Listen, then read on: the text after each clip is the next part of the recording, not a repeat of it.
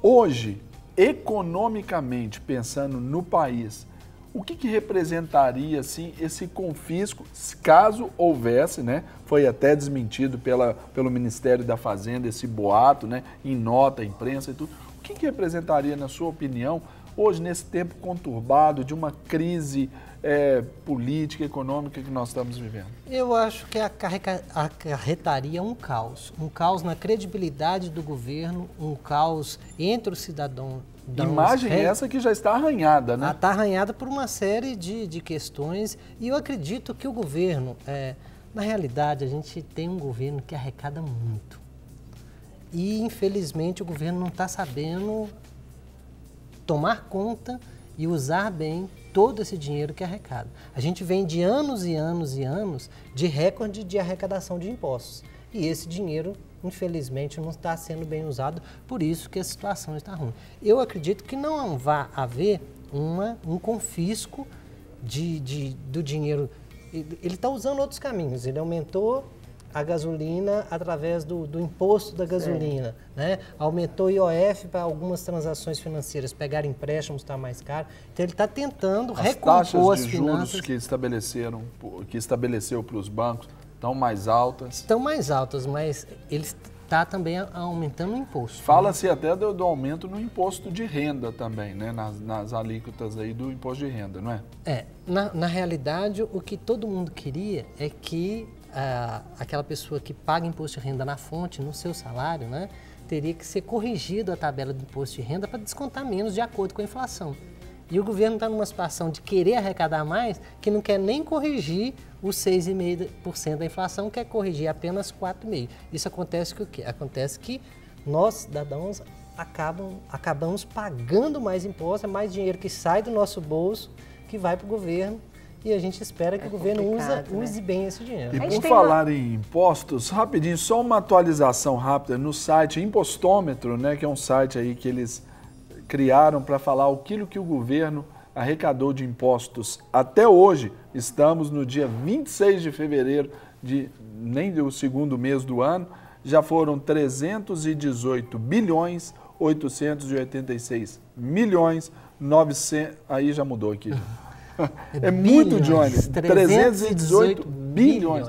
É muito. E é muito dinheiro para se pensar numa nesse período, nesse né? confisco. Né? É, o que acontece é que se a gente comparar com outras economias do mundo, no Brasil se arrecada muito mais Isso. percentualmente do que outros países e outros países fornecem uma, um serviço público, uma segurança, uma educação melhor do que o nosso.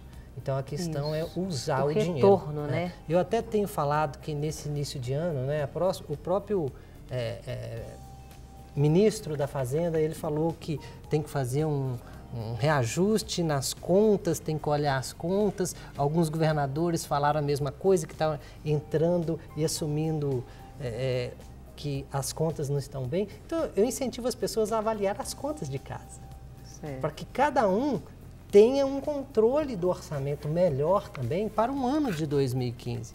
Uma das coisas recomendadas é que tenha assim, um dinheiro guardado, seja ele na poupança ou algum investimento, para ter tranquilidade. Nesse ano que as coisas estão aumentando, né, tem que tomar muito cuidado com o orçamento, tanto o orçamento pessoal como pequenos e médios empresários que estejam nos assistindo. Eu não, não, não sei sua opinião, né?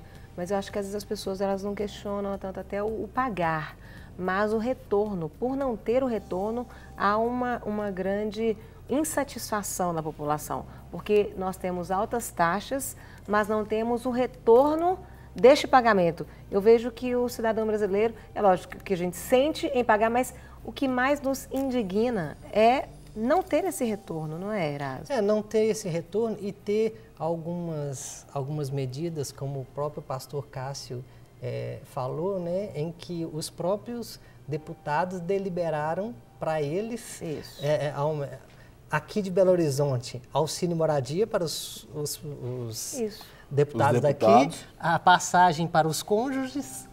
E fala-se de aumento até na verba indenizatória Com também. dinheiro com dinheiro quem? É esse dinheiro dos 318 bilhões que você até falou agora. que a gente Ainda tá nós temos que trabalhar mais três meses, né? Porque até maio, né? Que a gente trabalha para pagar imposto, depois que a gente trabalha para a gente. né? Daqui uns dias, pastor Serginho, vai ser seis meses. Não, vamos orar para isso acabar. Mas a gente está com uma pergunta aqui da Marjorie Moura, e ela quer saber o seguinte: ela foi uma das que viveu na época Collor de dos recursos dela terem, terem sido confiscados.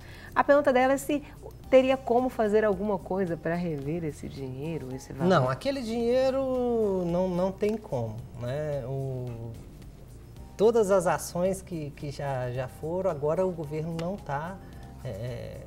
não adianta contar com esse dinheiro mais. Né? Per- acabou. Perdeu, ca- acabou, foi confiscado mesmo e não vai ser. re- re- Muita gente ali é, suicidou, a gente Isso. lembra dessa, dessas Muitas questões todas tristes. tristes aconteceram por causa disso. E muita gente, por exemplo, essa nova geração que veio aí, o pessoal que hoje acostumou-se com esse desenvolvimento do Brasil, o Brasil chegando à oitava economia do mundo, a sétima economia do mundo, não é isso, doutor Renato? Quando a gente pensa nisso, é, esse medo, ele é natural que aconteça. Mas, na sua opinião, agora é desmentido. Mas, vendo aí esse período de recessão, seria possível novamente essa reedição para o Brasil diretamente assim? É, eu, eu sempre falo né, que, que a, a forma que a gente tem de se precaver é pensar que uma, uma pessoa que vai entrar lá não vai fazer uma coisa dessa. Né? Então, ah, quem poderia fazer isso? Será que você acredita no, seu, no nosso ministro? Você pode ir lá, tirar e guardar em casa, mas isso eu não recomendo. Que, ó, transitar com dinheiro não é bom, Certo. Guardar em casa não é muito legal, entendeu? Eu, sinceramente, não acredito. Ah, você vai. O que você pode fazer, por exemplo, ah, uma pessoa que está juntando para viajar. Ah, o dólar está alto, eu, não, eu vou fazer uma viagem no exterior. Então, o que, que eu falo? Pode pegar esse dinheiro e comprar os dólares para viagem. A pessoa que tem dívida, tem, é, al- alguma, algumas pessoas têm dívidas e ainda tem uma poupança que é a segurança. E está com medo, Paga a dívida. pega o dinheiro da poupança, paga a dívida e assim vai liberar o orçamento mensal. Então, E é- agora não tem essa, essa questão de, de, de ficar, ah, eu vou comprar um imóvel, tenho muito dinheiro na poupança, eu vou comprar um outro imóvel. Tudo bem, pode até comprar, né, mas você vai ter, vai criar no seu orçamento uma despesa, se esse imóvel não for alugado, então, isso vai criar mais um- uma despesa para a pessoa. Pra Então, tudo tem que ser planejado. Né? Hoje, para o E- pequeno investidor, rapidamente, Carol, Tá. para o pequeno investidor, assim, aquele que tem aquela poupança de segurança, não é poupança aquela de investimento para guardar o dinheiro.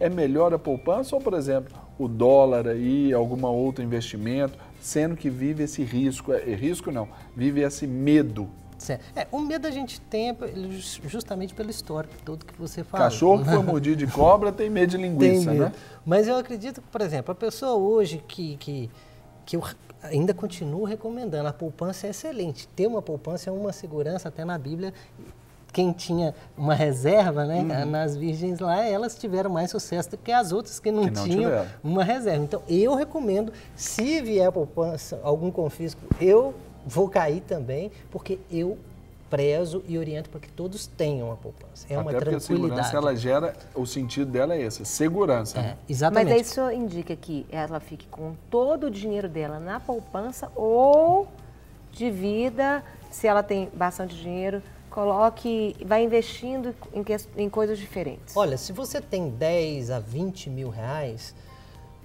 vai ter que ficar uma, a maior parte na poupança ou se você transferir todo esse dinheiro para algum fundo de investimento, que é investimento em títulos do governo também.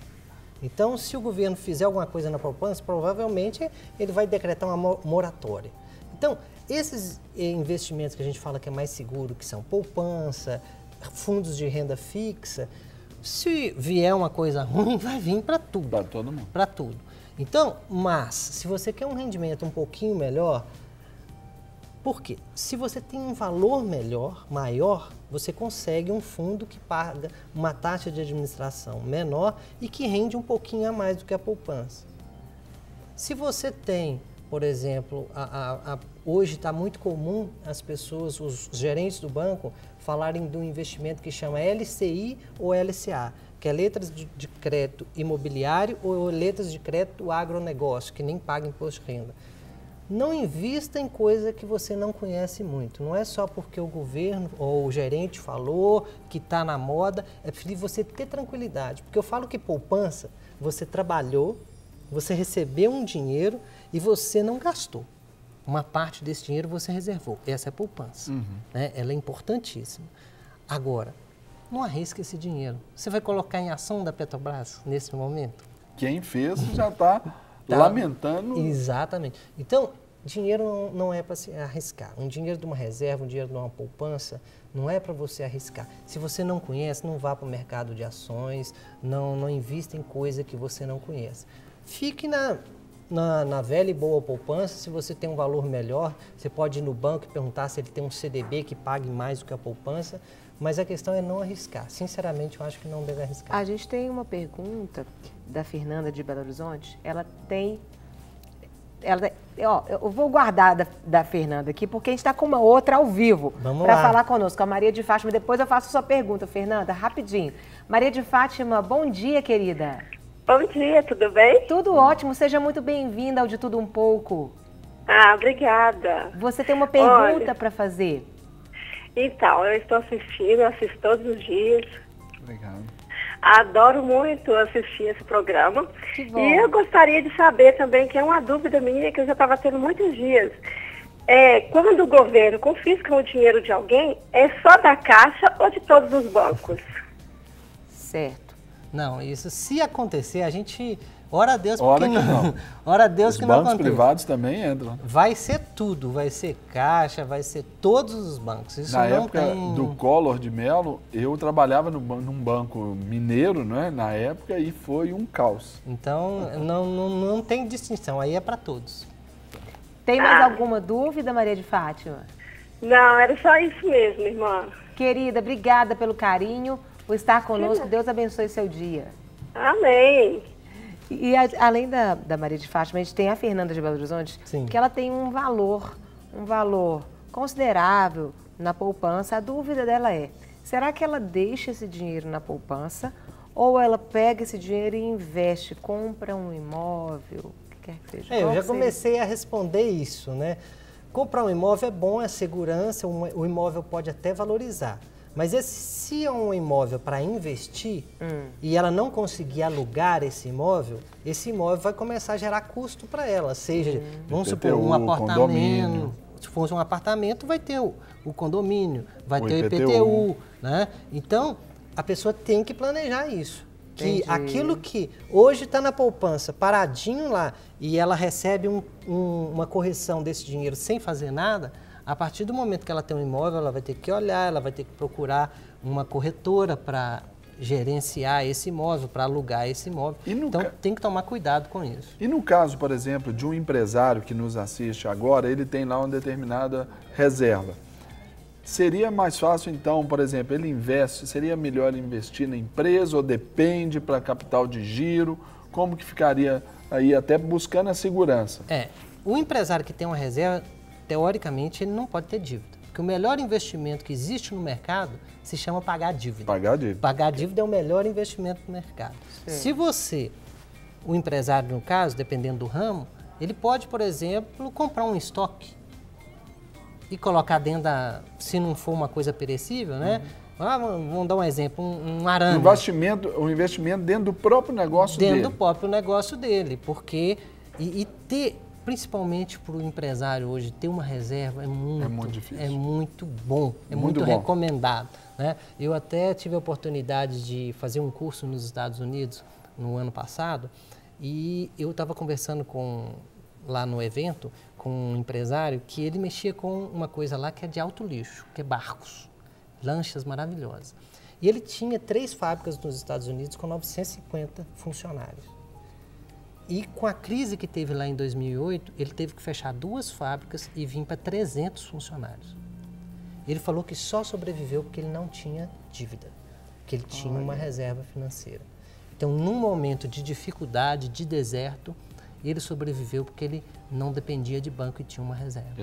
Então, eu falo isso, por exemplo, eu, Erasmo, eu não tenho salário, eu não sou empregado. Eu, eu ganho quando eu faço uma palestra, quando eu, eu faço as minhas consultorias. Então, eu tenho que me planejar. Entendo. Porque um mês eu faço muito, outro mês. Então, eu tenho que ter uma reserva financeira que me segure. Onde que está essa reserva? Em investimentos, poupança e outros investimentos de fácil acesso. Por isso que eu falei, se acontecer algum problema, infelizmente eu vou estar no, Você também vai estar no, no barco. muito bom. Mas continuo falando que o melhor é ter a reserva, ter uma poupança.